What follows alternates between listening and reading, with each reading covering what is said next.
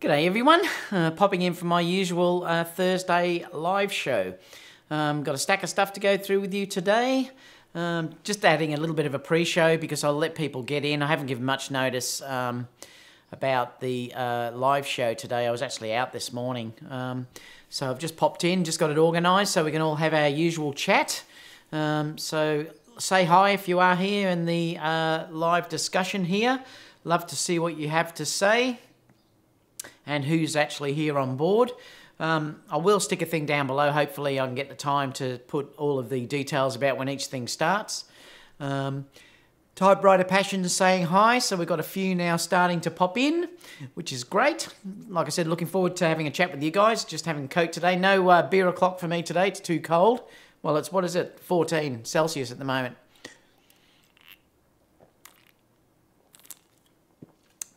Uh, Langston said, uh, how good timing. Um, Typewriter Passion just put a, a, clap. I love it. Um, also, check out the video I put up of Kiara again yesterday. Let me know if you've watched it, what you think. Um, I really enjoyed shooting that video. It was great fun, um, sort of showing winter in Melbourne, so that was quite interesting. Posted that yesterday.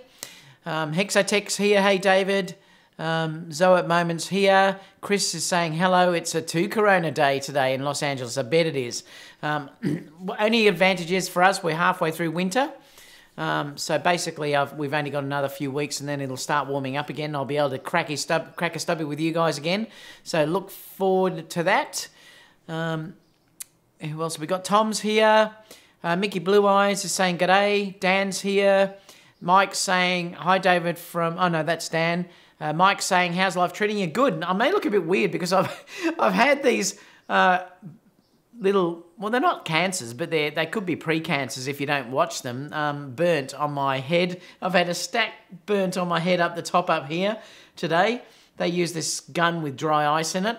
One of the beauties about living in Australia is, I think, well, not one of the beauties, but we do actually have one of the highest rates of skin cancer in the world. I think it's our sun's stronger than everywhere else, I believe, and that's that's why there's so much skin cancer down here. Um, so I'm pretty conscious of getting it done. So every year I go and visit the skin specialist, and she's burnt a stack of uh, things on my head. So. so I don't know whether you can see them or not, but I've had a stack burnt on me. It's a problem with being so blonde in a country uh, where there's so much sunlight. This um, yeah, ah well. So they're a little bit sore, but I thought I'll pop in anyway. It doesn't matter. If I look a bit strange, you guys will get over it. Um, Mike's just saying hi. Yeah. Uh, Boston 2 said morning. Um, Langston said, I can confirm what Chris Amura reports, is that's about the drink, uh, obviously. Uh, nice and warm over there. Peter Kent said, perfect timing. Hi, all. Barry Street's also saying hi as well. Like I said, we're getting a stack on board now. Um, Used the A7 III yesterday, and I did it differently this time. Um, I used the um, A7 III with the 35 1.4 on yesterday. Uh, loved it actually. It was really good. Normally, as you know, I've been using the 55 whenever I've been doing videos. Um, but yesterday I used uh, this for a change. I thought that I'd use the 35 mil focal length to just see how it went. Uh, I really do love the aperture ring, how you can um, open that up clicklessly.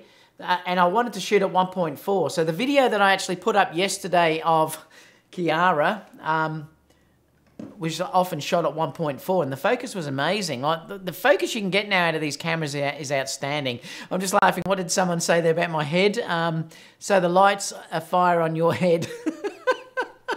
oh, it hurts when they do that spray though. My God, they just spray it and it burns like crazy, and they have to do it a few times.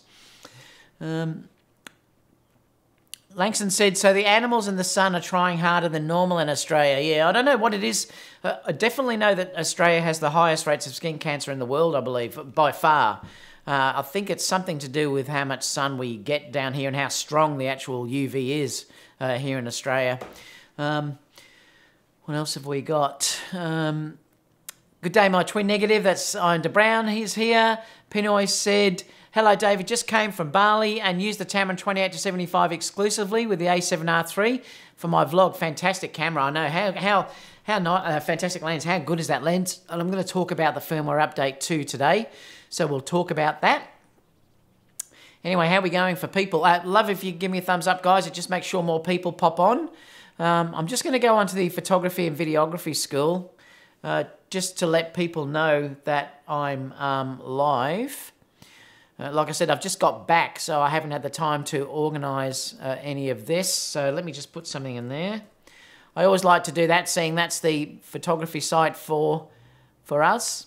Uh, let me just scroll over and I'll show you the site where we're at it. Um, this is the site. Please join it if you haven't. I know I keep going on about it, but it's for you guys. So uh, please join it. This week's task is actually macro. Uh, no, I wanted reflection. Last week's was macro. And you can see here how many people are um, submitting stuff for this reflection task that we've actually got in. Uh, it looks really beautiful, actually. And I'll choose the winner, and they go into the header actually at the top. Um, we have fun for each week's task. Uh, last week's task was actually this one that I put in there. Um, the last week's was slow shutter speed, so that was last week's one. Uh, let me just clear off the pre-show. Um, I'm just going to put in here that I'm live on YouTube.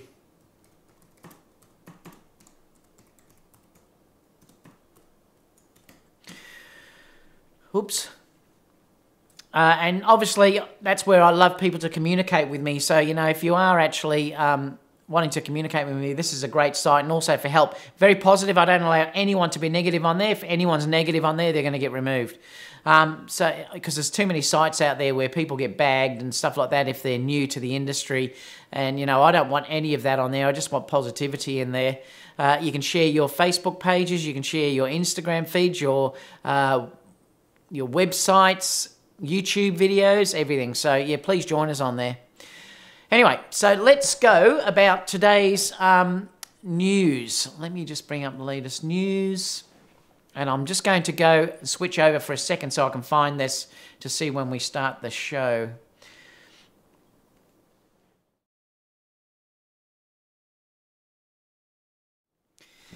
G'day everyone. Um, just wanted to actually uh, do a bit of a pre-show early on. I, I popped on uh, without really much notice this morning at all. Um, so I thought I'd still pop in and do the live shoot. I was lucky I got back just in time.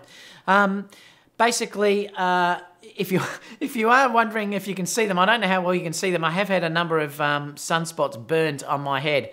Um, oh, Chris Muir, thank you so much. Thanks for great advice and answers for all the questions. Buy a few Coronas. Thank you very much, Chris. Um, really appreciate that. I certainly will. Thanks so much, mate. Um, yeah, I've had a few um, sunspots burnt off my head and also on the top up here and in the back it's really sore. So I've had them burnt off uh, this morning.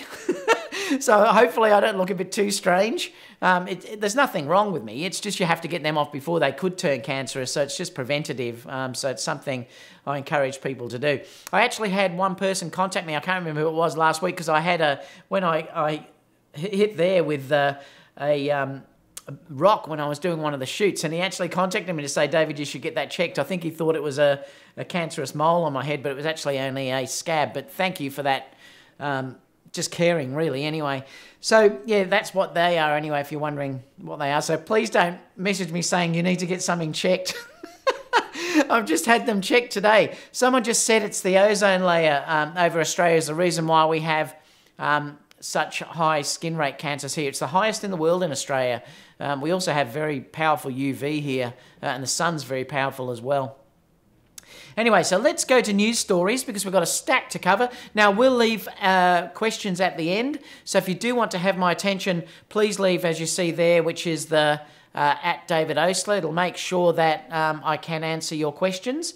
Um, while we're still in this sort of little bit of beginning, check out the video I put up of Chiara yesterday. Um, I did put on a video using the A7 III and for the first time I've used this lens for that type of thing. Normally I've been using the A9, oh sorry, the A7 III with the 55 uh, on there. Uh, but yesterday I thought I'd try to see how the um, 35 mil went uh, in video and I handheld quite a bit of it So I did use the gimbal, I used the Moza Aircross in that, but I also handheld quite a bit too to see how it went. I was surprised how you can really hold these cameras handheld and still get a really nice result. And I did that yesterday. And I wanted to try the autofocus on f1.4. So a lot of that video that you'll see if you go back and check the previous one I've just put on, is using this at 1.4 and the focus was outstanding. Look, it's not as quick as the 55, but it's still amazing and easily uh, enough to be able to use in a wedding or, or something like that. Uh, and it worked wonderfully. I think this might be a fraction heavy for the Aircross, the Moza Aircross, but it handled it okay.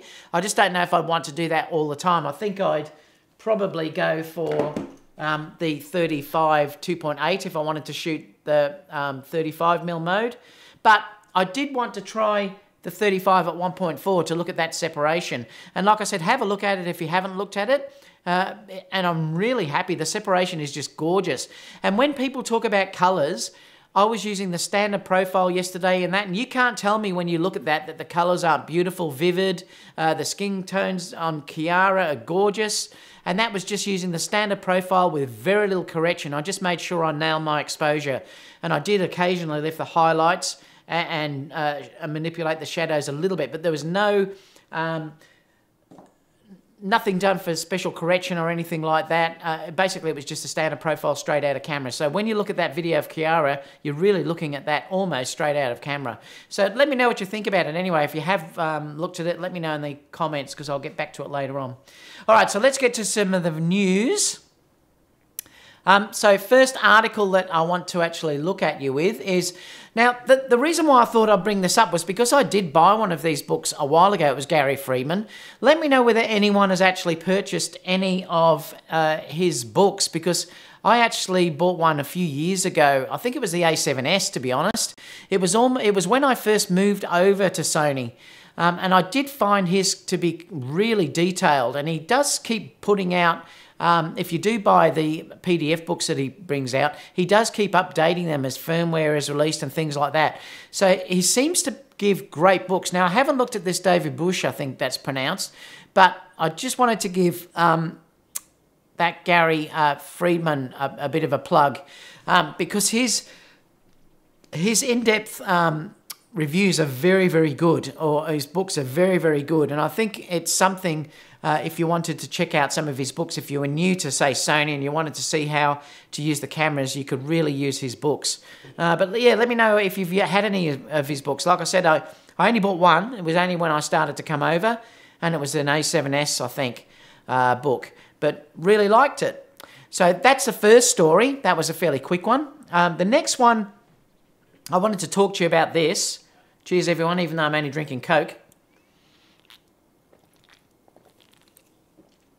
I noticed Casey um, reviewed the um, Sony uh, RX100 Mark VI.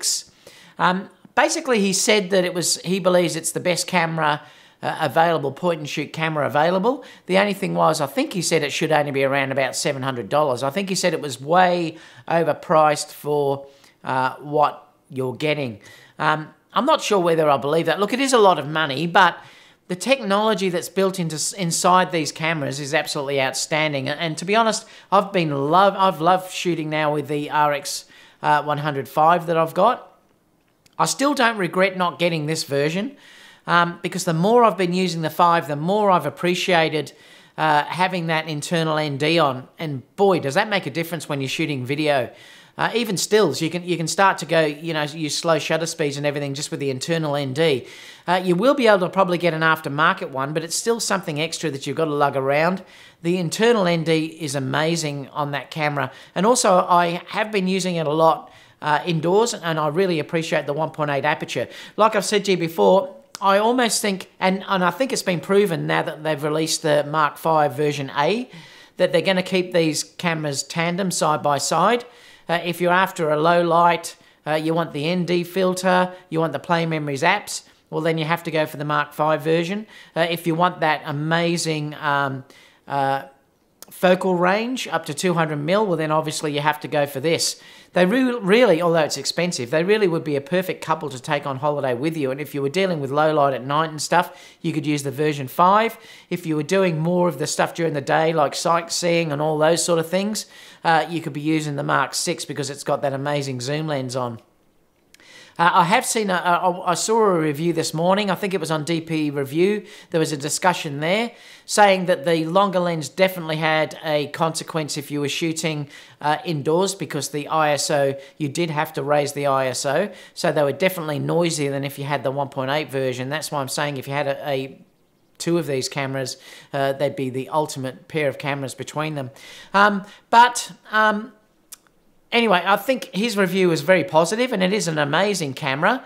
And I really like mine. I mean, there is differences between the two of them now, but I really adore using mine as well. I just stick it in my pocket and off I can go. Um, whether it's worth $700, I don't think it's overpriced for the technology that you're getting inside that camera.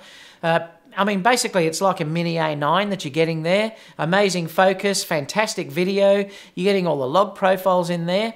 And the great part about using this is when you buy this camera, like I was originally tempted and I thought I might go for something uh, like a Panasonic or something like that, but having the same menu system on, on, on, all of my cameras has been absolutely fantastic and I've really appreciated that it works exactly the same way. So there's no learning curve there because I already know so well how to use the Sony cameras and then when I bring this up I know exactly what I need to do and it's fantastic if you're a Sony shooter to have this as another camera to your um, basically to be able to just pull out and use exactly the same way.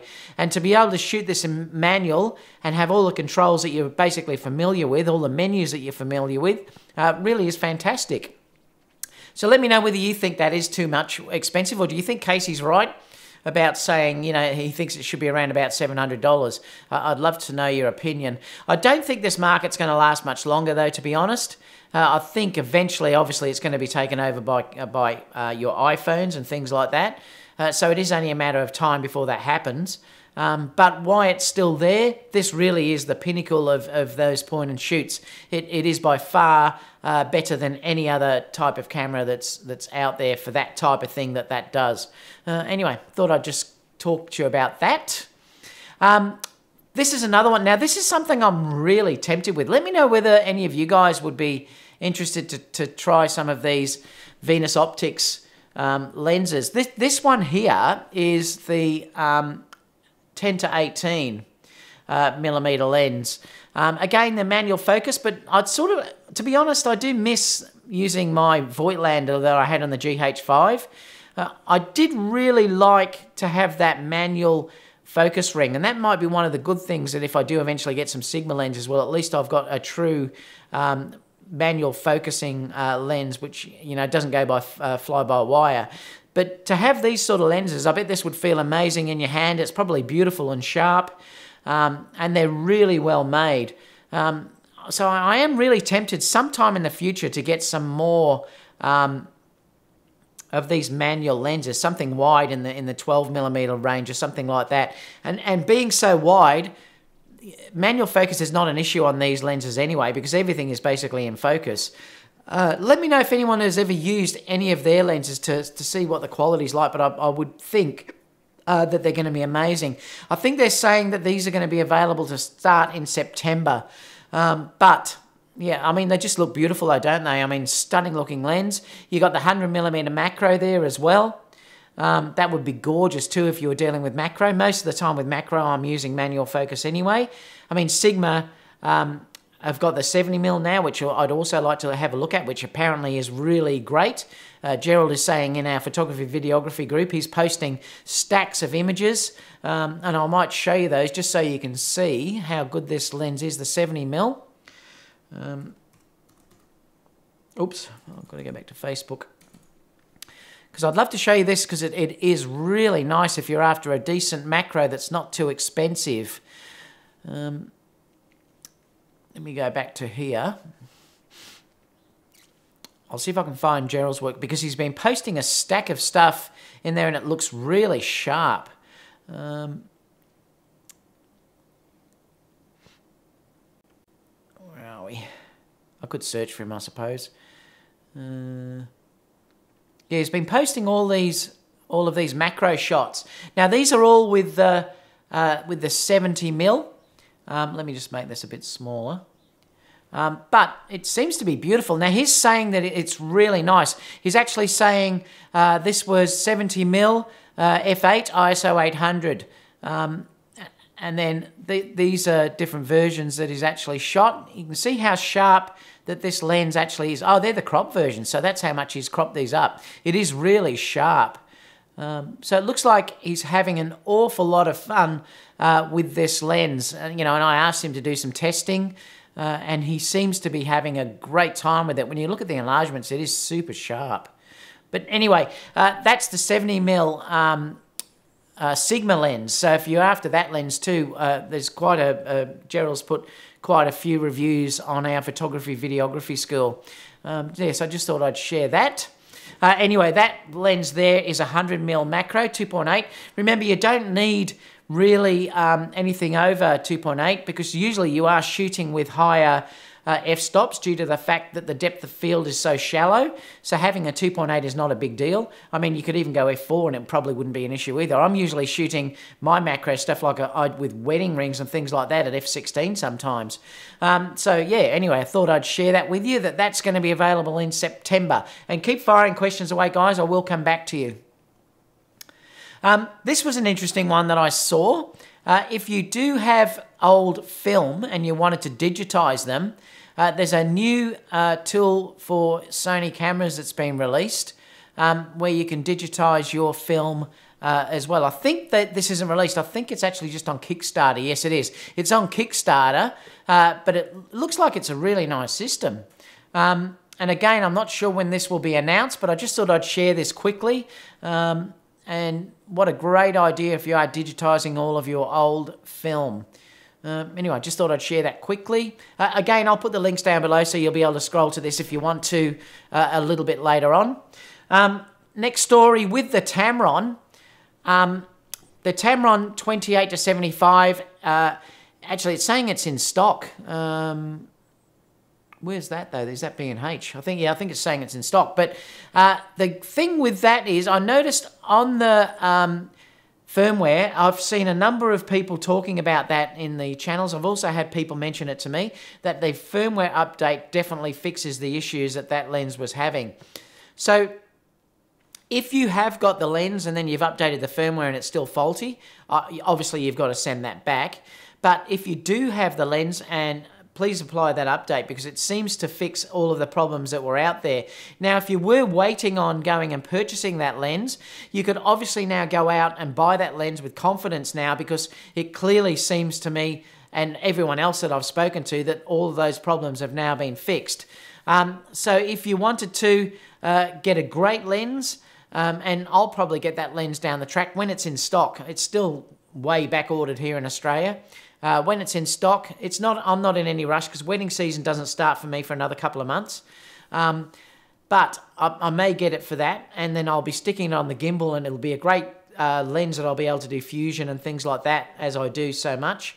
Uh, the other thing too is I love the macro, almost macro that that will give me to shoot things like the flowers, uh, the wedding rings, and things like that. So I probably will get it. And I was so happy with that lens when I actually uh, got that evaluation copy and did the reviews for you. Uh, so I certainly wouldn't hesitate it. I noticed Michael has said the firmware fixed his issues as well. So it definitely seems to be that it has fixed all the issues.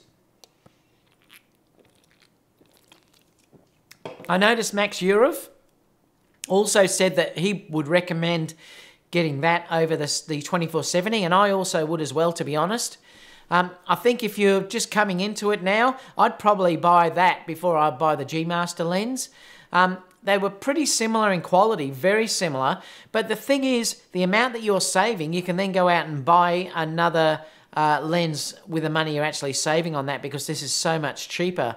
Uh, you can go out and buy a beautiful wide prime if you wanted to have something that goes over the 28 mil. You could also go out and buy, um, you know, a 135 if you wanted to, or something like that. Um, I mean, really, it's amazing when you think what you're getting in that lens. The things that I love about it, with the weight particularly, like I've said to you before, uh, I don't want to lug around heavy gear really anymore.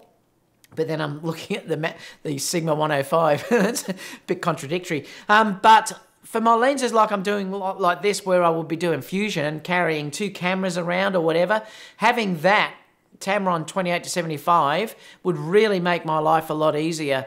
Um, so, yeah, anyway, I just thought I'd talk to you about that. It all seems to be fixed. Um, next story. Um, this is one that interests me. I'd like to try this lens out when it's native. It looks like it's going to start shipping uh, in on July the 18th. So it's not far away, uh, not far away at all. I'm still hoping to eventually, like I said, I've spoken to the Sigma reps here and I hope that that still works through. I've not heard anything back though, but um, they said they were really keen. Now I'm hoping that I'm going to be able to review these in the future for you. Uh, I'd love to try the Sigma 135 against the 105, um, and I'm dying to try that. Um, I think, to be honest, I always say to be honest too. Someone said that. I would prefer the the Sigma 85 mil is crazy big. I mean, it is really big. Now, if you don't mind that size, it's not an issue. I think I'd pre probably prefer to go for the one. If I was going to lug that big lens around the, the 85, I think I would prefer to go with the 105 or the 135 over that massive um, Sigma 85 mil. I mean, the beauty, I haven't got it here, it's in the other room. Uh, the beauty with the Batis and the Sigma and these um, Sony 85 1.8 is the fact that those lenses are so small. So that's a real benefit if you do want to have the mirrorless option of having these small sizes, uh, being portable and everything else. Uh, the second that you put on there um, the Sigma uh, 85 particularly, that is a massive lens. And in fact, it looks almost similar in size to the uh, to the uh, 105. I mean, there's not a massive difference. It's wider, yes, but it, it's not bigger as an actual lens looks. So I think I would prefer to go for the 105 over the 85 if I was buying the Sigma because I think it would be a, a better portrait lens. Uh, having that 105 uh, mil focal length at 1.4 would be outstanding. I think, you know, the bokeh and everything would be just gorgeous, but I'm still waiting to try that out. But anyway, hopefully they'll all be released soon and we'll be able to actually try them. Um, anyway, so this one, the Sigma 135, which is a gorgeous focal length for portraits, um, is going to, they're saying, start shipping on July the 18th. So what's that, only a week, less than a week away? Yeah, five days away or so. Um, so exciting times. Like I said, there's no longer can you anyone say that Sony haven't got enough lenses. We're really covered for everything now, and it really is a fantastic time to be shooting Sony.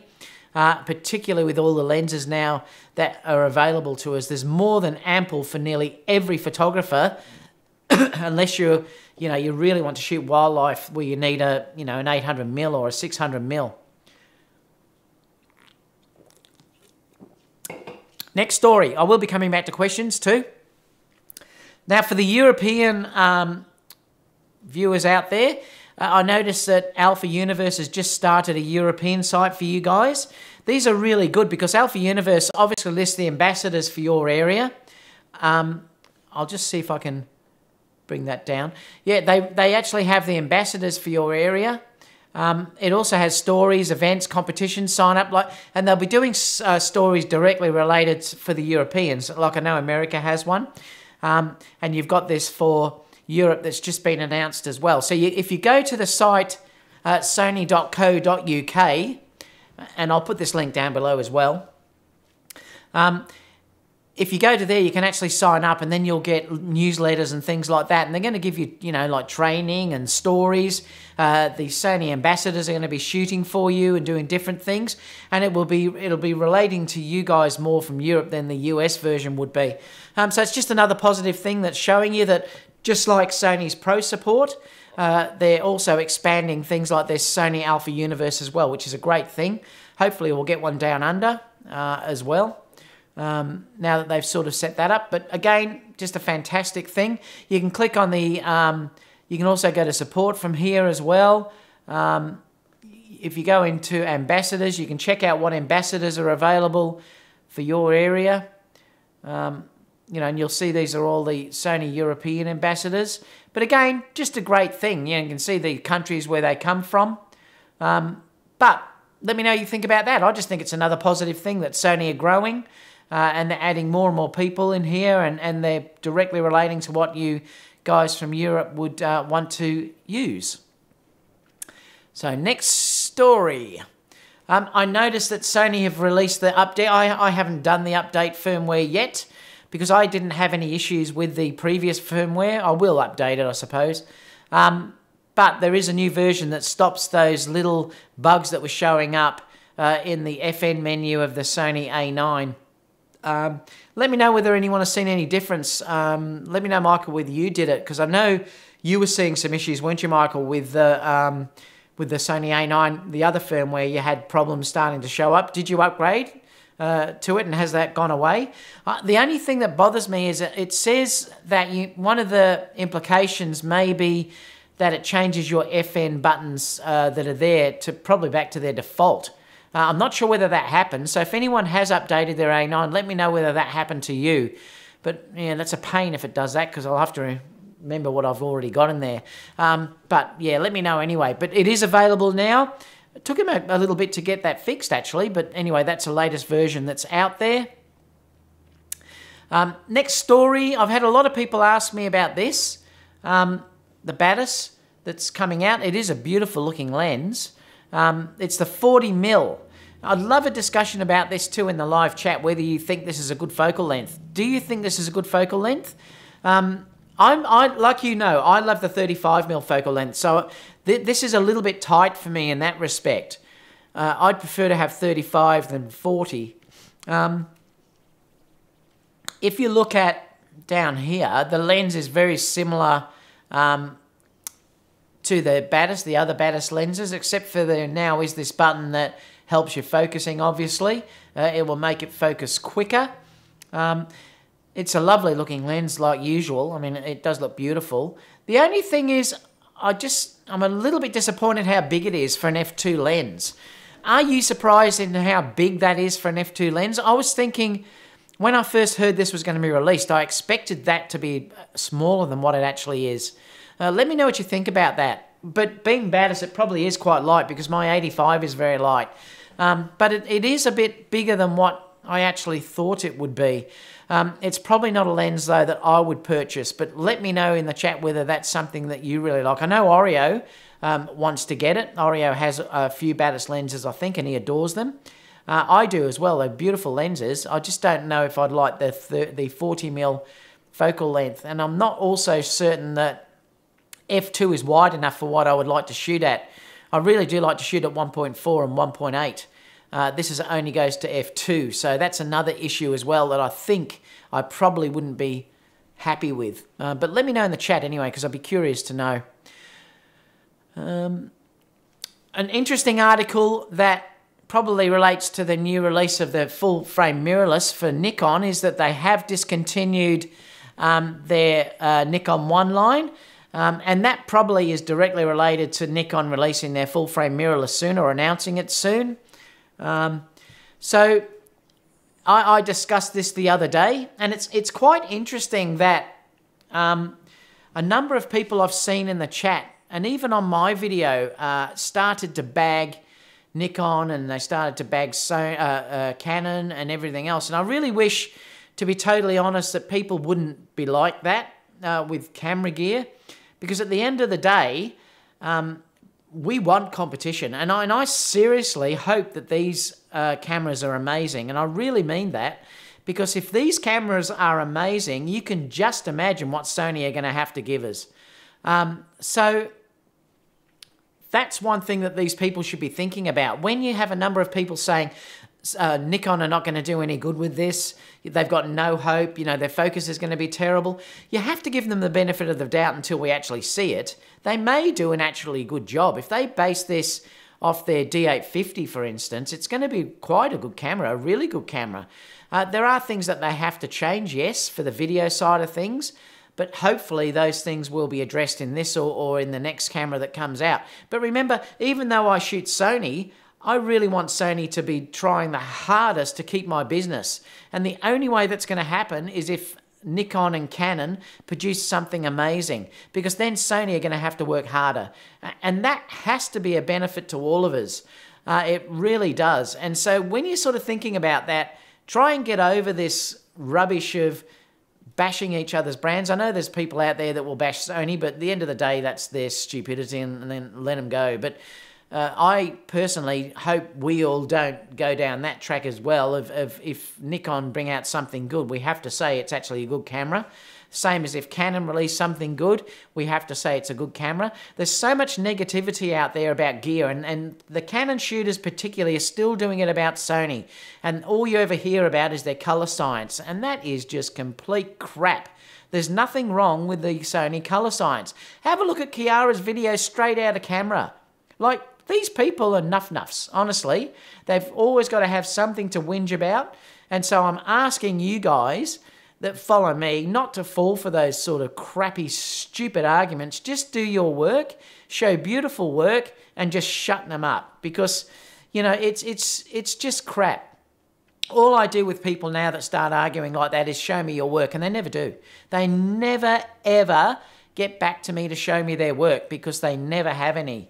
Um, and honestly, to say can, uh, Sony has terrible color science or, or the color science is not good as Canon is complete rubbish. And I proved that when I shot the A9 against the 5D Mark IV. They were shot exactly at the same time.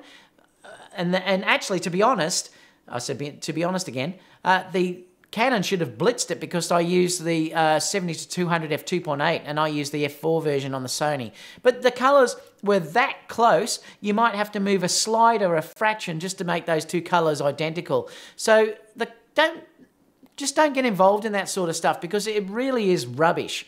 And like I said, that video I shot of Kiara yesterday had no correction in, straight out of camera on the standard profile. And you can't tell me Kiara's skin tones don't look lovely on that video. Um, and Ben said, nuff nuffs. Yes, they are nuff nuffs, Ben. Uh, and someone like you, Ben, will get an advantage if Nikon uh, produce a great mirrorless. And I really hope they do because, like I said to you, I want those companies to survive and I want them to do well. It's better for all of us. And this is what a lot of those people that whinge don't understand that if these companies fail, we're going to be left with an A7 III for the next five years.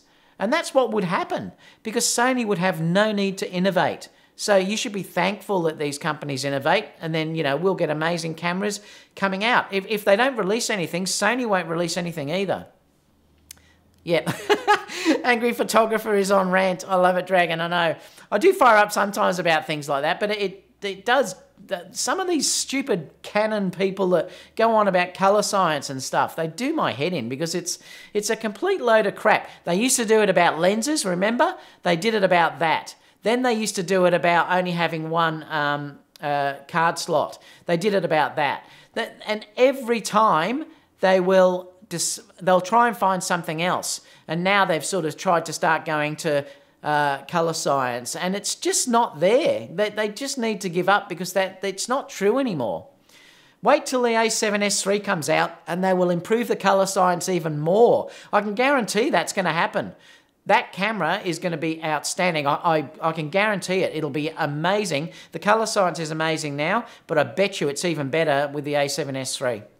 Anyway, stop the rant. So, you know, let's hope that Canon and Nikon do produce really good cameras. I'm, I'm hoping prices then will go down on Sony. Hopefully then the G Master lenses will drop down in prices. Um, and we're all going to win from it. So let's hope that that's what, you know, happens. I did do a talk about this, and I wanted to just mention it in the live chat in case if you haven't seen it. Um, this AD Pro 400 that's coming out uh, is quite exciting. Um, it seems to be a really nice unit. Um, if I know a lot of people use the AD 200.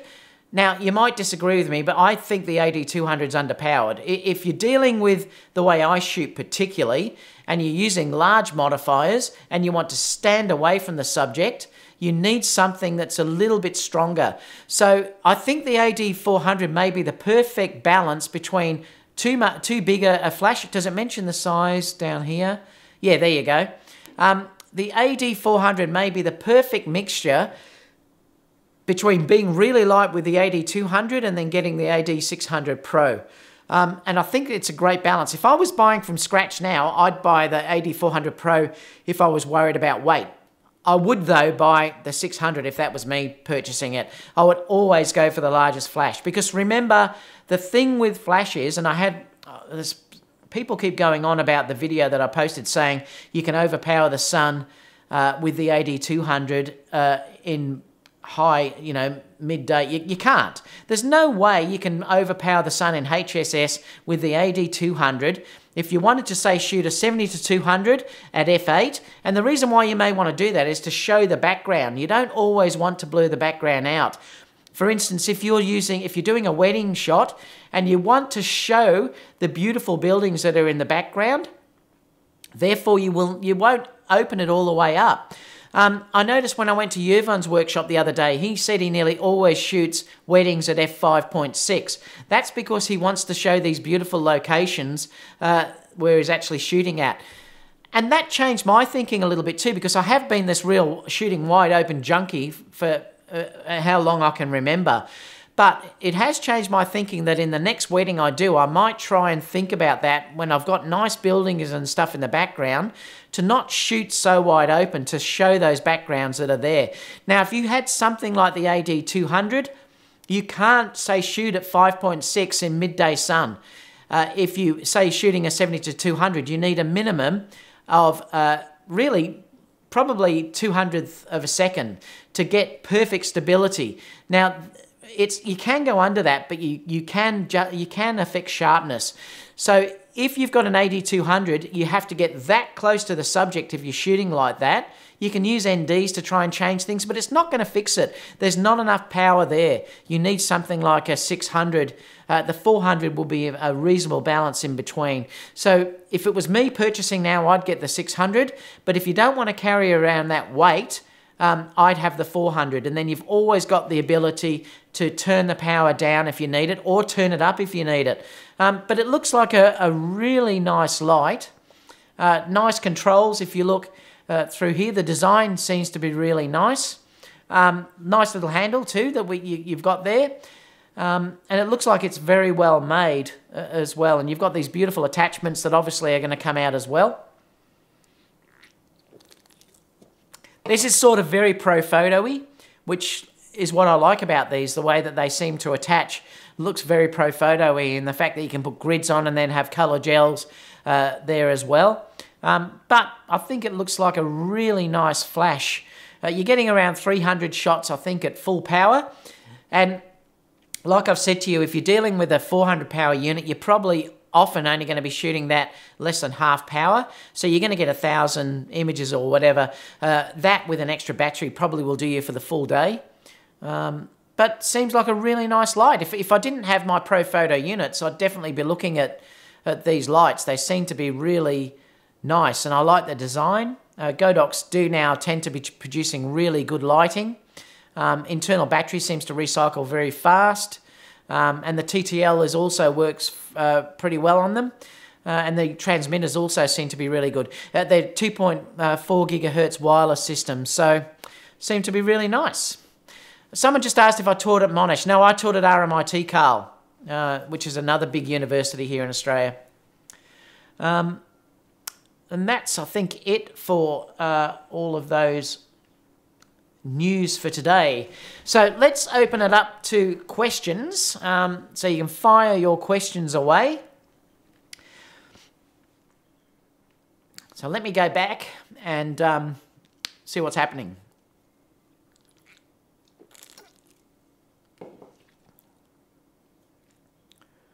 Um, um, um most people are just saying hi.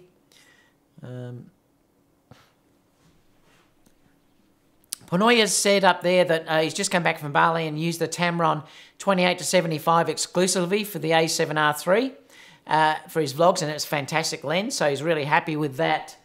Um, with that lens. Um, Panoy said, I haven't upgraded the firmware to the latest. Oh, there you go. He's, so he, he obviously has the lens like I had that had no issue with the AF in the first place. I'd still upgrade the firmware though when you can. The good part about the Tamron is it upgrades through the camera like your Sony firmware does, so it's a very easy thing to fix. Um,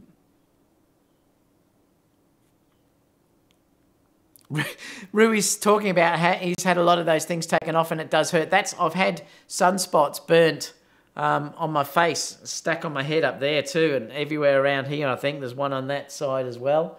Um, I had dry ice gun blown on me this morning. It did hurt, Uh, it's just pre-cancer checking. You know, they're not cancerous, but they burn them off before they could turn cancerous. If anyone's wondering what these spots are on the face. Um, just people saying hello. Michael's in here. Steve Waycraft is here. I'm De Brown's in here. Thanks so much, Chris, too, for that donation. Really appreciate that, mate. Oh, there's Tony giving me a donation. Tony, I love it. Get better sunscreen. I need you teaching me for many more years. Well, that's why I've got these things burn off. Oh, you know what? The thing is, um, Tony, I'll tell you that, that the actual doctor, a skin specialist, said to me this morning, do you wear a hat? And I do. I always go out wearing the hat. The problem is that I've, I'm very, very fair and this is burnt from when I was a child, and, and that's the issue now. So now I'm suffering from all this from when I'm a child. I did have one cancer cut out on this, this side, actually, just up here. Uh, but it wasn't melanoma, it was a carcinoma or something, squamous cell carcinoma. So I did have that cut out. As long as you get them early, um, you're okay. So I'm very conscious of it. Uh, and I really am conscious because uh, the thing why I'm a bit paranoid too is my mother died from melanoma. She got one on her leg when she was 48 and she died. So I'm very conscious of getting it done. Um, so thank you so much. So I'm intending to be here a long time, Tony. I will buy some more sunscreen um, from that. I love it. Cracks me up. Uh, thank you so much, Chris, too, for that as well. He's saying buy a, a, a uh, few Coronas. Uh, really appreciate that as well. Um, Pinoy said, yeah, negative people are a waste of time and energy. I know, get positive. Like, just get out there and start shooting. Um, they are. They, they're just crazy. Uh, Gerald's here. Oh, I was showing your work, Gerald, um, just before. Um, some of your macro work. Um, Gerald said, We do care about you. You are a leader and our inspiration. Thanks. uh, you guys crack me up. I care about you guys too, trust me. Um, Jean said, Hi, David. Hands are sore from installing the MagMod Mad Grip to my Godox. Was it hard, was it, to install it, Jean? Uh, I haven't got any of those. Um, I do think, too, you have to be very careful. Um, and I'll, I'll, talk to you a little bit about this because I think it's important. Um, I've noticed a lot of people are starting to go to these um, magmod type things on their on their um, and I hope I'm not putting you down for what you you're actually doing here, but you will never ever beat a modifier that is nice and big and soft. And this is one of the things that you you have to learn. Sometimes it's better to carry around more heavier gear than it is to carry around more simple stuff. And I've seen a lot of this happen particularly with the AD200. And I don't mean to be criticizing people, but it doesn't give the nicest type of soft light when you're dealing with strobe work. And this is the thing that I've been noticing quite a bit lately of people sort of getting onto this um, MagMod type adapters and all this sort of stuff.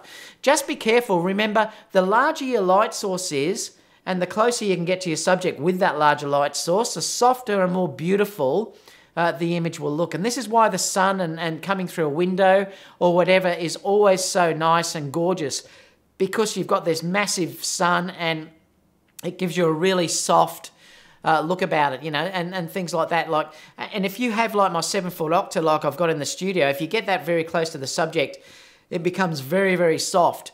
I very rarely ever use my Profoto lights without diffuser, without some sort of diffuser on them because immediately when you do that, you're going to get a very harsh light and you can tell it's been flashed.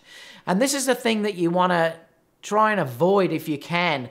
And I've noticed a few people posting them uh, and to be honest, I, am not convinced that I really like the look of it. Now, I'm sorry, Gene, if you've bought that and you think I'm having a go at you about that. I'm not. But I'm just saying, just be careful about doing that. And I really think to be I'm going to say to be honest again because I say it that many times. Um, you're better off to have something like a two foot octa or a two foot um, uh, uh, box, you know, that you can actually modify, that you can actually use, and it will give you much, much softer light. Sometimes I'll use the attachments, and I'll show you what I mean.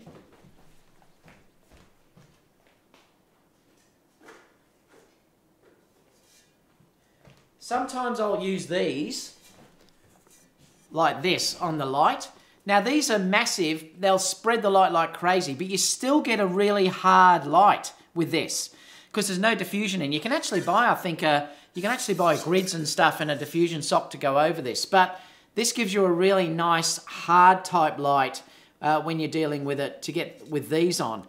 But when you're dealing with the, the small modifiers, like when they just put the globes on and, uh, over the top of the flashes and these MagMods and things, just be careful about doing uh, portraits with those type of lights because you're never ever going to get the soft look like if you're using a uh, you know a beautiful modifier. Uh, so just be careful. Now they have their uses. Yes, if you want to travel very light, but just be careful about how much you use it. So I'm not trying to put you off that gene, but just be careful about how you use it. If you want your work to be really gorgeous, soft lighting is the trick. And I think that is the real trick about getting beautiful work is to have people not sure you've used a strobe in that. And that, that's really important. Um, anyway, I thought I'd do that, uh, talk to you about that. Um, and just be careful because if people try and start selling all these sort of things and they're, you know, people will sell anything if they're going to get a dollar out of something. So don't always believe what people are telling you. Uh, you really should look at how the, the I'm not, look, I'm not saying I'm a master at all, but you should look at masters of photography and how lighting was done. And if you look at some of the most beautiful work is like window light, and that's because that's a massive, massive basically like a softbox. That window's acting like a massive softbox, letting all of that light in very soft. So just think about things like that. If, you if you're in a bright sunny day and you then move into an area where the sun's reflecting off a, a, white wall, you'll get beautiful soft light because that's acting like a massive reflector as well. If you're dealing with a modifier like on the AD200 and you're dealing with a light source that's this big, you're going to get very hard shadows and it will never look that attractive. Um, Sony beer drinking night. Yeah, I wish it was for me too. Um, God, Scott's here at 3.15 in Scotland. I'm off work back from a backpacking trip and can't sleep. Well, good to see you in here, Scott's. Um, Casper sold all my G Master lens. You did not, Casper. Tell the truth. Did you? Nah, no way would you have. Uh, Scott's, uh, come on, folks, hit the like button. Thanks so much, Scott's, for saying that. Yeah, if you have, I'd, I'd love it if some more did. Um, Little Ray Blue said, I bought the A6 500 book from uh, Busch. Really liked it. Okay, thanks for sharing that. Time to wait for the Nikon camera. Uh, hopefully, like I said, they'll do a really good job. Um, Michael said, Casper, it's going to blow up in your hands.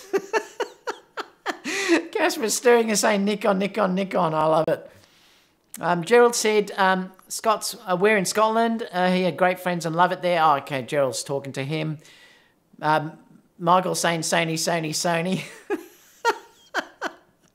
they're, all, they're all doing this now because I've told people to behave and stop doing that. I love it. Um, Carl's in here saying hi. Uh, Michael said, wait, be back in a minute. My Sony is overheating.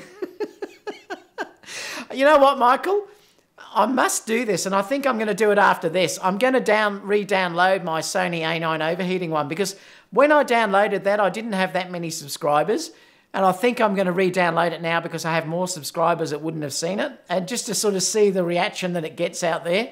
So I think I'll re-upload that. I think I'll download it, delete it off Facebook, uh, off YouTube and re-upload it. I might do that because it was quite, I enjoyed doing that one about the Sony A9 overheating. And I'll do that today. Um, Casper saying that uh, that one that camera one guy Danny he's saying because of the overheating. I love it. Um, Pinoy said, I will choose the RX 105 for vlogging purpose. A built-in ND and f1.8 is a no-brainer. Yeah, it is. It's really good if you're dealing with vlogging. Uh, I don't understand why they took that out. I'm not sure. Um, Peter said, what's your live stream setup? Now, my live stream setup today, Peter, is I'm using Wirecast. Um, and I'll show you what it is. Oops, let me just open up a new window.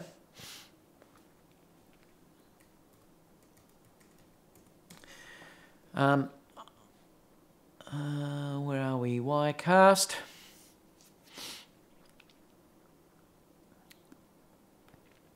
So it's Wirecast 9 that I'm actually using. Um, and it's actually, let me just see which one it is. I think it's, I'm using the Pro version, um, which is this one. It's not cheap. Um, I'm using that one, Wirecast Pro, which is 9.95 US.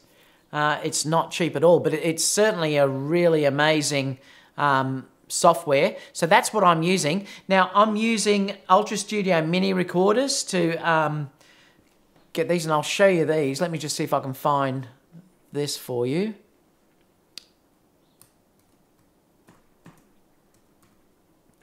Magic. I'm using these um, these devices here.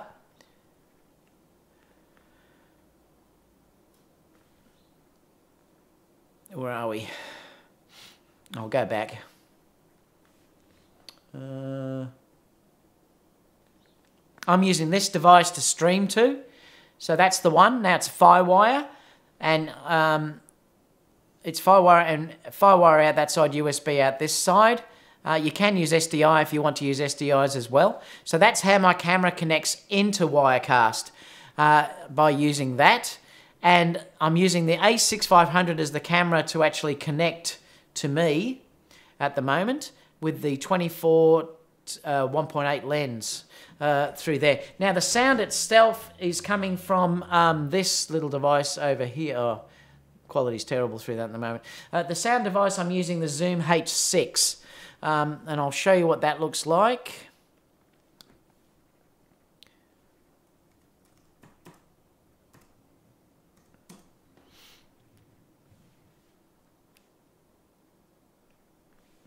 So I'm using this uh, little device for, where are we? Um, I'm using that little device here for the sound, which is the Zoom H6. It's also a great recorder. And I'm using the Sennheiser mic above me to get, uh, which is a boom mic, uh, which is into that uh, Zoom H6. So that's my setup. And the switcher that I'm using is this one. I just haven't got it connected today, but the switcher that I'm using is this. So this is the switcher that I use to control camera movement. I just haven't connected in today, but I usually do. So that's how I'm switching cameras. At the moment, I'm just doing it all manually. So that's that's the setup that I'm using. So I hope that helped. Um, Casper said, I might sell my 2470. I have the A-mount 2470, which is a great lens. Yeah, I mean, if you sold that Casper, you could easily get the Tamron and another lens. You know, or you could, yeah, just keep that one if you wanted to. Uh, Richard's just saying hi. Michael said, I ordered the RX 106, but when it came in, I told them to sell it to someone. What made you change your mind, Michael? Just curious. Why didn't you buy it? Was there a reason why you never kept it? Um, Chris Barr said, I can't um, stand my iPhone 8 plus photos. If it's not midday, full sun out, the IQ sucks in any low light. Okay. I don't mind them actually, but yeah, they're not good in low light. That's why I, I, I like the RX 105. The second I'll go inside, I'll use that. Um, they, they, do. I mean, the, the sensor size is so small on that camera that they do suck if you're if you're dealing with low light, particularly. Um, Gerald said, um, "Oh no, he's talking about something else." Oh, uh, the what do, does that mean? What do I think about the 218 MacBook Pro? Well, it seems like it's a really good unit, and I also noticed that. Um, where did I see that this morning?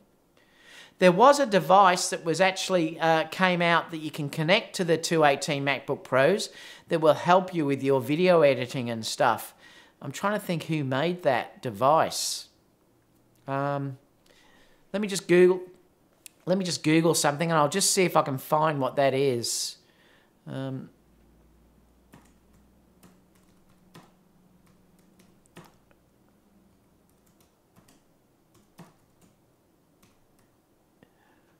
external, I think it was external GPU. uh, was a new. Ah, here we go. I'll show you this because this was really amazing. So this device down here, it's six hundred dollars. But what it actually is is it has it's an external GPU that connects to your Mac Pro through your FireWire 3, um, but it has inside it. Uh, it's actually got a Radeon Pro uh, 580 um, with an 85 watt charging uh, power. And now it's basically so it's an external GPU and you've got all your attachments through here, but this connects to your MacBook Pro like that, and that's what does the external processing, and it gives you an amazing horsepower uh, directly from your MacBook Pro. So how cool is that? Um, and I believe it's about uh, $600. So you can see the size of the unit roughly uh, sitting through here. So you, yeah, you could also connect it probably to the new iMacs as well. Um, but that would make a massive difference uh, if you're dealing with horsepower. Now it comes, you get eight gigabytes of, let me just move this over. You get eight gigabytes of uh, GDDR5 RAM, uh, 256 memory, and 36 discrete compute units. And it gives you 5.5 teraflops of processing power. Um, and it can do 38.4 billion texture pixels per second. So this is one way that you could buy something like a MacBook Pro and uh, attach this just at home. So if you were doing your video editing or whatever you're doing at home, you've got that ability of attaching an external GPU to it. So it's great. Now the overall thing with those new uh, Macs, they seem really nice. Um, but I think the highest spec one was about 6,000 US. Very expensive. I've got MacBook Pros. I think mine's the 214 version though. Uh, I use in the house. I'm using a Mac, I, uh, Mac Pro here. Um, I may get one eventually, but there's nothing wrong with the ones I've got. But clearly, I think they're saying they're about 70% faster than the 215 MacBook Pro, so they must be quite good. So that's, yeah, just released today, I believe. Um, I wasn't showing, was I showing that then? I don't know whether I even showed it. Did I show the... I don't know if I did. Did I just mention in the chat? I'm not sure whether I showed it. I think I was on me. Uh, let me just come here. Just in case if I didn't show it, I'm just going to pull it back up again. Uh, history. Uh, where are we? That is the device. Did I show it on the thing? I'm not sure. That's the unit there. Um, they're the ports at the back. Um, and that's how it actually attaches to the uh, computer. So you sort of see the size that it actually is. I wasn't sure if I actually switched it over. I may not have. I was so excited about looking at that. Um, anyway, that will let you look at that just in case if I missed it. Okay. Um, what else? Uh, let me come back to here.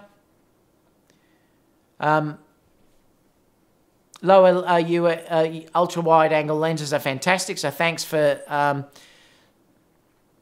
saying that. Um, Pinoil said the 218 uh, MacBook Pro is out now, uh, 19 with uh, 32 gigabytes of RAM.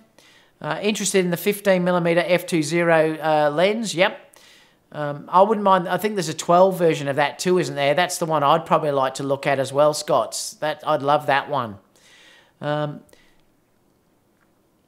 Typewriter said, nice. I'm trying to figure out whether to get the 13 or the 15 inch. I'll get the 15 if that was me uh, just because I like the real estate, uh, especially if you're dealing with live video editing and stuff. It's you need the real estate.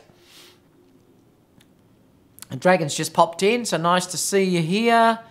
Um, Casper said nothing is sharper than the Sony 90. Yes, that is a very sharp lens. Uh, g'day, Ben. Good to see you in here. Um, BSB Films saying hi. Chris is saying, I see my photo on the Facebook page. Sony a7 III shot with a vintage Canon. Yep. Um,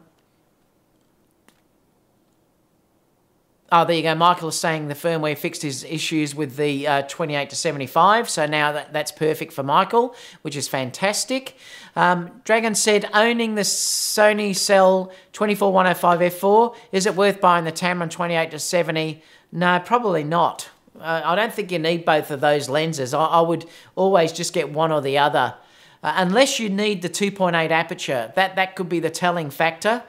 um, or you wanted to say put it onto a, a gimbal and run at 2.8 and have that close focusing, then you could say yes. But I'd honest, I'm going to say honestly again, I'd buy a Prime or something like that rather than getting the 28 to 75 if you already own the 24 to 105. That's a great lens. That's a really good lens. Um, he also owns the uh, 90mm macro. Okay. Um, Little Blue says, Little Red Blue says, the Tamron sits on my A7 III. I've never had an issue with it. The 70 macro gives me gas. Yeah, I know, it seems to be really good. Gerald said, um, yes, that Sigma Art 70 2.8 macro delivers stunning images, sharp clarity, top IQ, lightweight, and easy focus, both manual and autofocus. Uh, and he said it's affordable. Um, Michael said the Tamron is different and much more diverse than the Sony 2470 GM. I'm selling my GM. Yeah, I remember you spoke about that, Michael.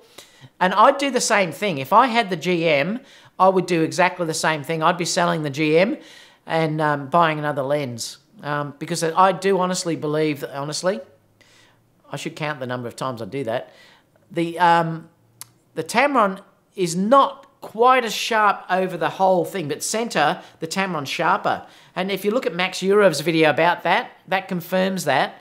Um, yes, there's a little bit of vignetting at the end, and like I said, unless you're going to shoot brick walls and stuff, you're not going to notice it. Um, and it really is beautiful all over. Very sharp, incredibly sharp, quick focus.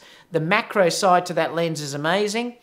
And I quite like the fact that it goes to 75 because you're also that close to getting you know, near 80, which is a beautiful focal length for portraits. So, yeah, I'd be doing the same thing, Michael. I'd be selling the 24 uh, to 70 as well. Way heavier.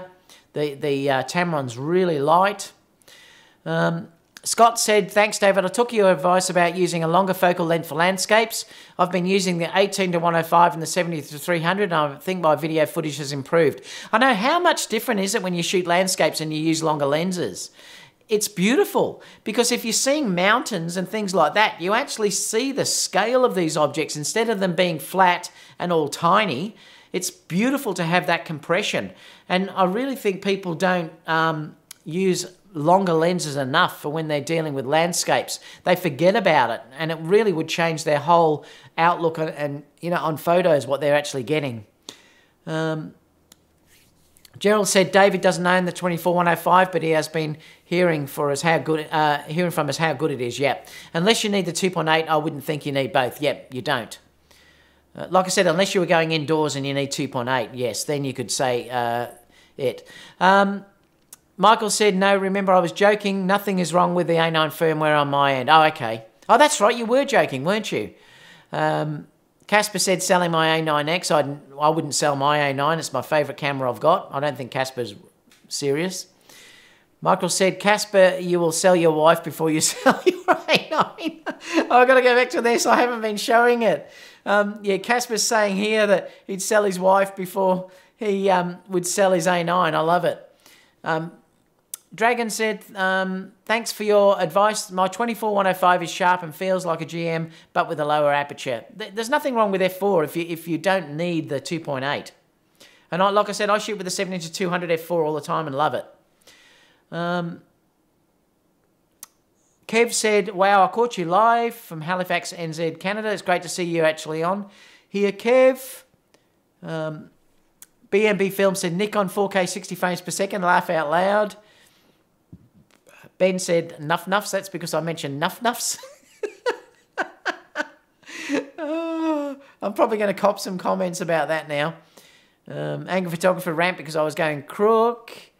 Um, Casper said, David, my A9 went back to normal. Okay, so the uh, firmware fixed it. Uh, Little Ray Blue said, the color science for Sony with their new cameras is great. Don't worry about it like as much as I used to. Yeah, it is. It's, it's fantastic. Um,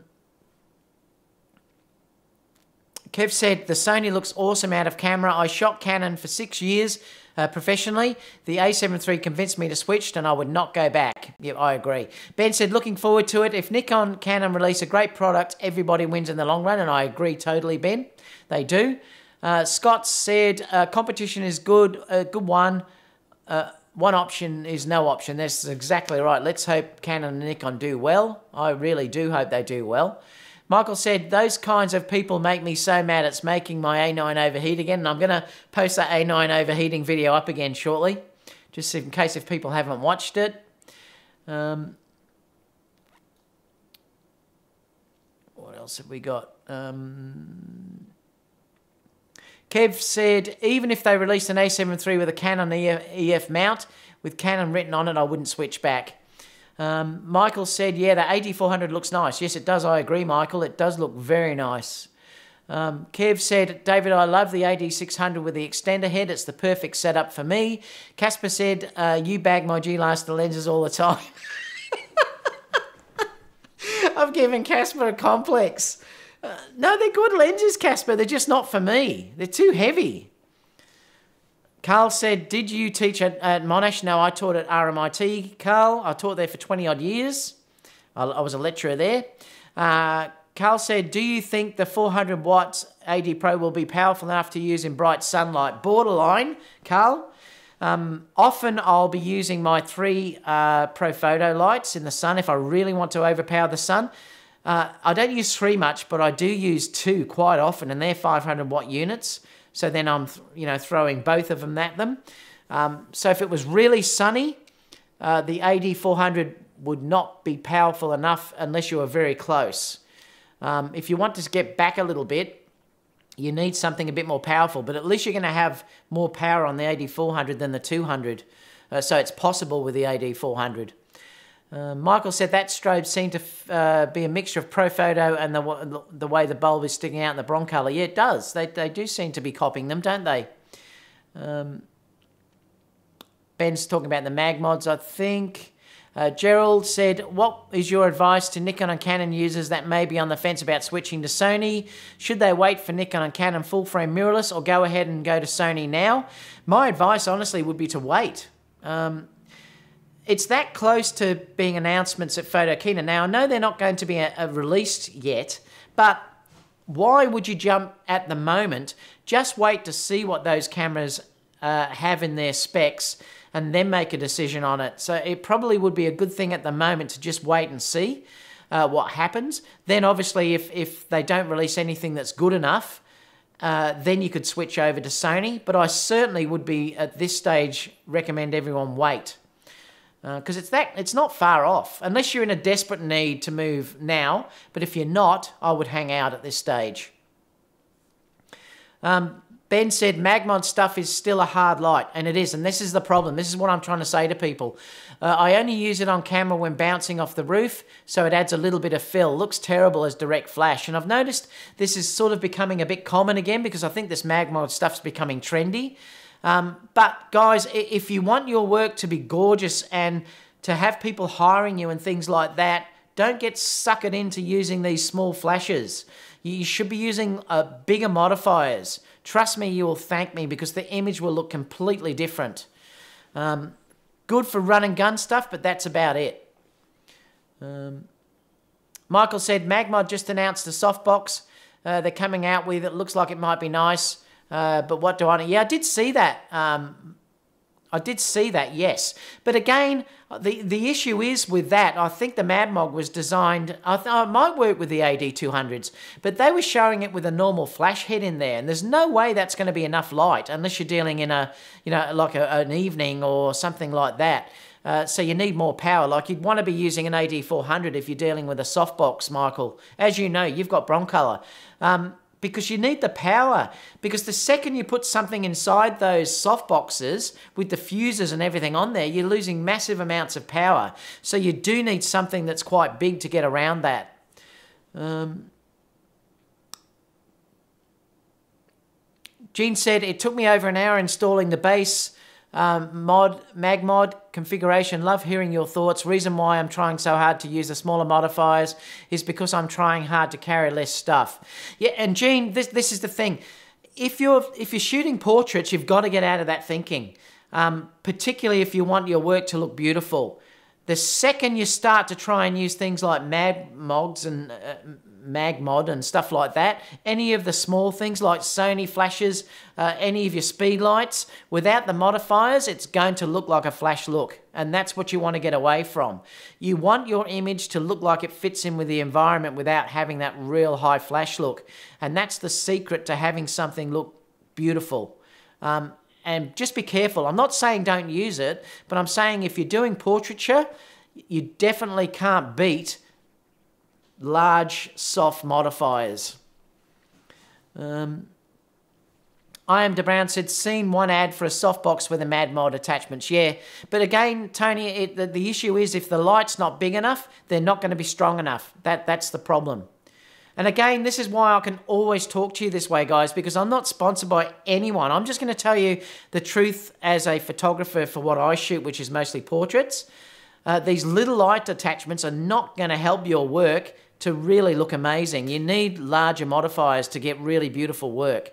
There's a reason why they use massive scrims. There's a real there's a reason why if you're dealing with movies that they use these massive scrims with lights coming into these scrims to soften those lights up. They're not using tiny lights unless they want this old Hollywood type look.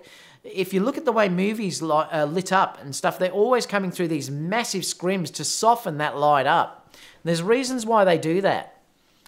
Um, don't get suckered in by marketing. Uh, said, purchased the A7 III yesterday as a second camera with my A7R3. The focus on it is amazing, even compared to my A7R3. Yeah, the A7 III is definitely a step up. It's definitely a step up from the A7R3, and it's and the A9 is even a little bit of a step up again. Mike said, funny story, last month I sold my A6 500 in anticipation of the A6 700, which I guess will be announced at Photokina, where I'll be, of course. Uh, got 950 euro. Now the, the grey one sells for 850. Well, how well did you do, Mike? Um, CG saying hi. Um, so currently use my A6000 to accompany my A7 III, and the A6000 is still okay. Um, I hope the A6700 will use a Z battery. So do I, actually. Michael said, I changed my mind about the RX106 because I have too many cameras. Okay. Just waiting until the A7S3 comes out before I buy another camera, and that's a really good move, Michael. Uh, Kelly said, what camera profiles are you using in Lightroom for stills? Uh, everything from Sony comes in dark uh, yellow or brown. I'm just using the standard profile this is what I don't understand. I can't understand why people are having so many issues that I might just be lucky. I don't know, Kelly. Uh, I don't change anything with the profiles at all. Sometimes I'll go in and change it to the, the Sony profiles and, and go to standard. That can also uh, make it a little bit warmer. But my images are not um, brownish or, or dark yellow when they come in. Uh, are you exposing correctly? Um, I'm just curious. The other thing too is don't forget too, you might be better off to get a, a grey balance card and balance to that, like I do. Um, you know, you may be better off to do that. Um, Mick is just saying I, I was shown. I'm not sure what that means, but yeah, I just use standard. That's all, the standard Sony profile. Um, Rui said yes, it did show up. Show, oh, okay. Um, Gene said that GPU will make my 13 inch MacBook Pro, which doesn't have a dedicated graphics card, quite attractive. I know it's a great system, that Gene. Really nice. Um, and asked you said the Gigabyte gaming box uh, 588G graphics card GPU is also nice. Thanks for sharing that. Gene said, waiting on the 218 MacBooks to show up on the Apple website refurb section to get a sizable discount. Uh, Dragon says, I have both the 55 and the 85 1.8 primes. Beautiful. I love both of those lenses. Uh, and Dragon said the 35 f2.82. I love that 35 2.8. That's so sharp, that 35 2.8. It's a great lens and tiny. Look at the size of it. I mean, look at the size of that lens. It's ridiculous. It's beautiful. I adore it. Fantastic. And then you've got that lovely little sun cover, you know, the shade that goes over it. Because um, stops any um, light from getting in. You know, fantastic. So you can fit a different ND on that size if you have that size, or you can use the 49mm there, the same one I'm using on my 55. I love it. Fast focus, it's just beautiful. God, we gone, we've been going 19, uh, 1 hour 19 minutes. I've uh, gone ridiculous length again. Um, what else have we got there? Mike said, sometimes I shoot landscapes with a 100 to 400. Exactly, Mike's fantastic. Gives a unique perspective due to the compression, and that's what I love about it. Chris said, I just bought the A9 for 3000 off eBay. Perfect condition. Wow, that's fantastic, Chris. Great buy. Uh, Mark said, just came out of a fashion shoot with the Zeiss 51.4. I'm going to weld weld it to my onto my A7 III. Yeah, that's a great lens, that Mark. Uh, beautiful, very, very sharp, that lens, the 51.4. Very sharp. Gene said, uh, people that complain about color science are the same people that complain about the menu system. I know. They're just used to the Canon or other brands. Uh, Stacy said, just showed up, uh, so this may have been answered. Love my Tamron 28 to 75. Has anyone upgraded the firmware to fix the focusing problems? Yes, they did. Stacy say they did it and it worked. And I've, i talked about that, that it, a lot of people are saying it's fixed all of their issues that they had out there. B Rich said, Do you feel the Tamron 28 uh, is cheap? I do. Do you mean, does it feel cheap? Well, no, I don't really. I think it's a great lens for that money. Um, it's cheaper feeling quality than the G Master, obviously, but you're only paying seven ninety nine. It, it's a bargain, Be Rich. Honestly, that is a fantastic lens. Scott said, um, I got the exact same three lenses. Uh, Casper said, just got smacked. Thanks, guys. what that means, Casper. Um, Kevin said, Hi, David from the California desert. I've made the switch to the A7 III. Can't wait to get it into my hands. You're going to love it, Kevin. It's just an amazing camera. Um, Gerald said, Did you see the post on your Facebook group where eight different third party Z batteries were compared? No, I haven't read that yet, Gerald. I'll have to have a look. Um, Ron said, I know you already mentioned it, but what lens do you use for those macro detail shots? Uh, the Sony 35. Uh, uh, Sony 30mm 3.5 is the one I use. That's that's the one I use all the time and love it. Um, I don't know if it's. I don't think my bags are in the back. I'll just check.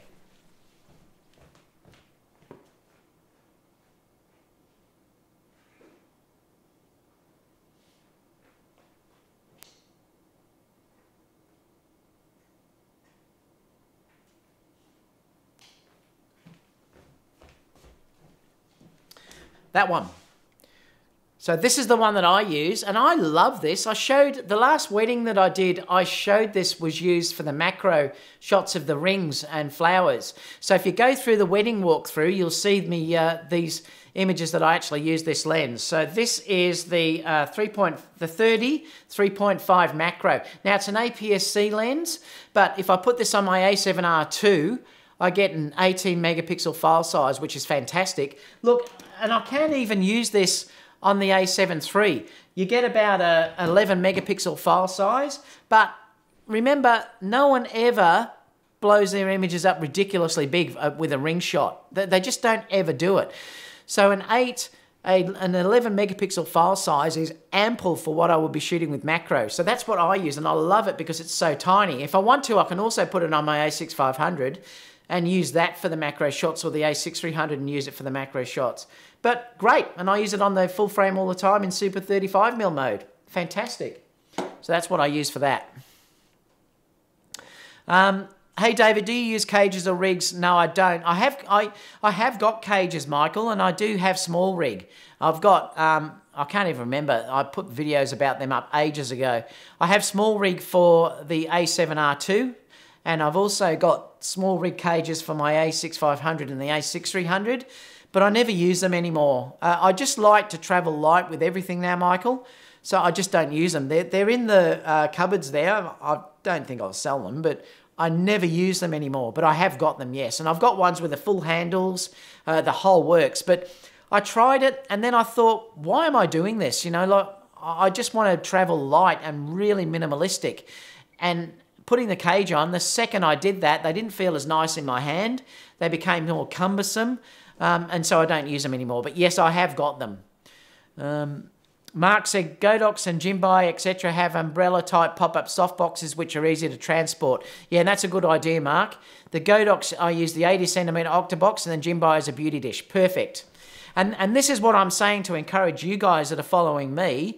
Yes, you can't travel as light, but you'll get a much better result. Uh, having something like what Mark just said there with the umbrella type soft boxes. And remember, I showed you the shoot through umbrellas. You know, look, use this.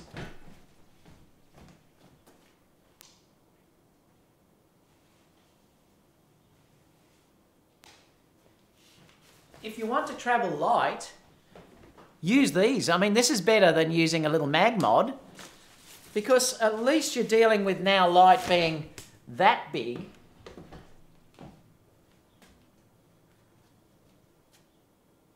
And just hold the flash so it's basically, you know, sort of down here somewhere against the actual unit. Hold the flash basically like that, and then that will become the whole softbox. Now, people have moved away from this, and I don't understand why. Because this is way better than anything you'll ever use with a MagMod. Way better. And, and it's just this big.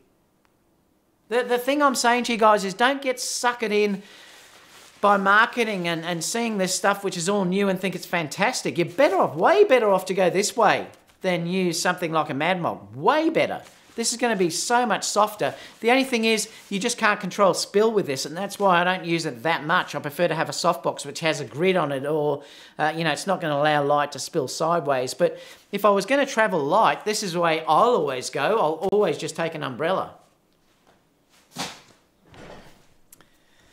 Uh...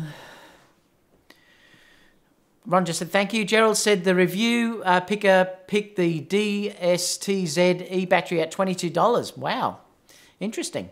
Um, that's for the Z battery, so uh, that's on a photography videography school. Uh, Mirrorless MY said, hi from New York. Thanks so much, and he gave a thumbs up. Thank you so much for that. Um, Ron said, I'm putting a cage... Uh, I think putting a cage makes your camera bulky and makes some brides a bit nervous seeing that big rig in their face. Yeah, it, well, that could be the case, but it's more the fact that it is does make it bulky, uh, Ron. And I just like to, you know, just grab these cameras and be as, as small as possible, lightweight. And like I said, if you look at the video I just put of Kiara up, a lot of that video was handheld and it's, it's perfectly stable. And I'm just standing there like this just brace yourself when you're doing it, you know, sort of brace yourself like this. Uh, if you want to, you can have an anchor point up to your face, so that will anchor into your face like that. But the stabilization on these, as long as you brace yourself and really bring it into your body and hold it, um, you'll get a good result. And not having a cage on, for me, just, just makes it so much easier to hold over a day. Um, Obviously, I think Michael's saying this later on. Videographers, though, full on videographers will have it because they attach so much stuff to it. You know, like all your microphones, lights, things like that. Because remember, you shouldn't be attaching things to this because this is the weakness of your Sony camera. So if you're putting lights on there, you're potentially going to damage this. Um, that, that way, you know, if it hits, uh, that actual um, flash mount's going to pop out. That hot shoe is going to pop off. Uh, so yeah, I don't recommend doing that. So if you're a videographer, I'd definitely be using cages. And I think Michael deleted it, but you should put it back on, Michael, because it, it is true. If you're a videographer, you would use a cage. Um, what else have we got there? Um, Mark said umbrella is fine, but watch the beach uh, blowing it away. Yeah, and that can be an issue, Mark. Yeah, and I've had a few of them. Um, but I'll always um, try if I can to protect it and hold it fairly close to the end. I've, I've had very few um, umbrellas that actually have been damaged, believe it or not. Uh, and they're that cheap. I'll just buy, I'll just carry a few of them. Um, Dragon said, superstition, open up an umbrella in the house. Um, ben said, been going for an hour and a half, I know. It's uh, shocking. Go and have a wee, David. Uh, Marcus said, uh, any news on the A6700? No, I think that we're not going to hear anything till Photokina. Michael said, the cage, it's just for video work like interviews or events. Yeah, which is what I was saying. Uh, you don't have you don't have help but need the full package like mics, monitor, etc. Yeah, and I agree. Uh, if you're doing full-on videography, a cage is really good. Um, Marcus said, sorry news, not sure what that was about.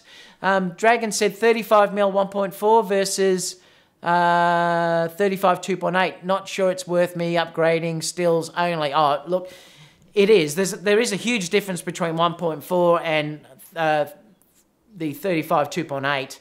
It's certainly worth it for me. It just depends how. Obviously, if you if you don't really want to shoot wide open all the time, I love shooting at 1.4, particularly bridal stuff, and I adore that that look.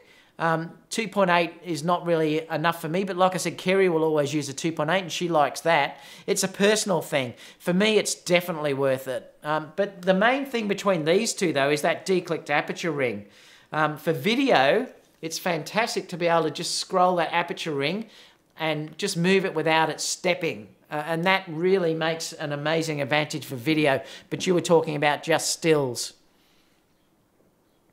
Uh, the 2.8 though is still a great lens though. So yeah. Um, Savas is just saying hi. So we're at the end basically of where it is. So if you haven't seen the Sony A9 overheating video, I'm going to repost it. I'm going to delete it and repost it. And I'll just put reposted due to, you know, to make sure people can have a look at it because it's quite funny. Um, so I'll repost that up there as well. Um, and um, that's probably about all we need to talk about today because we've been going for one hour, 30 minutes. I'm going to be in trouble from everyone again. Thank you so much, guys, for the donation. That was um, um, Tony I'm De Brown and also um, Chris Imra, uh, Im Imara. I'm probably pronouncing it wrong. Chris, anyway, thanks so much for those donation, guys. Really appreciate it. Um, Michael said, bye, David, sign off. Thanks for sharing so much for your uh, time with us. Uh, respect. Um, that's about all. Any questions, please leave those down below uh, because I will always get back to people about that as well. Uh, make sure you check Kiara's video out um, because I posted that yesterday. I love it, showing Melbourne in winter.